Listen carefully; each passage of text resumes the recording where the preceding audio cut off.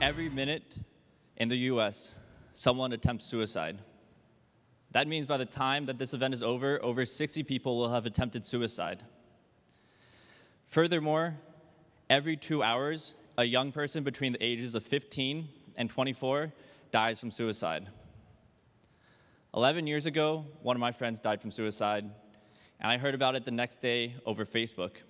I spent weeks combing through Facebook, seeing if there was anything anyone could have done to prevent this tragedy from happening.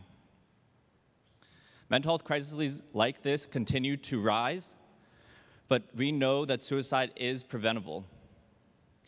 SHLD makes resources more available through the power of social media to young people, especially those with marginalized identities, such as students of color and or those who identify as LGBTQ+.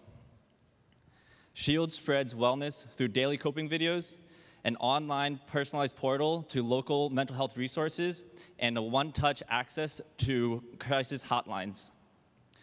We know that social media can be used for good. SHLD will break the barriers of traditional mental health by making resources accessible and promoting the student success through the foundations of mental wellness. Thank you.